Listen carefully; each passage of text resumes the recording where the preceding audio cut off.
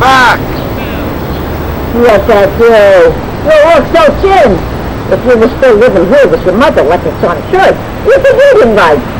And look at those cars you drive. You shame me, Antonio. Really you do. People will think I brought you up wrong. Well, what can I do, Ma? You know I'd do anything for you.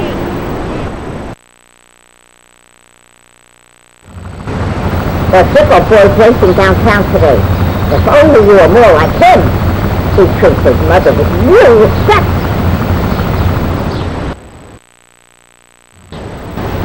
Of course, if your father is here, he'd win the race and take this smug grin off that Sickle boy's face. Yeah, he's making me glad.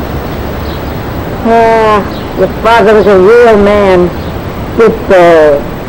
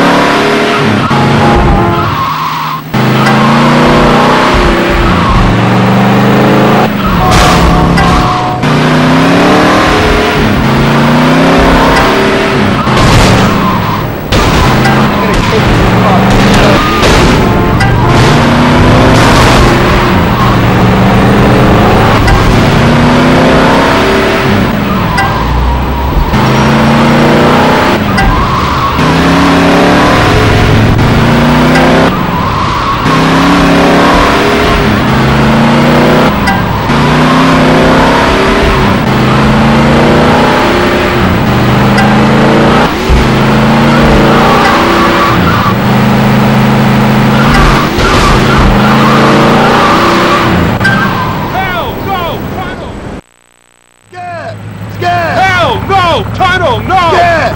Scared! Hell! Scared! No! Scared!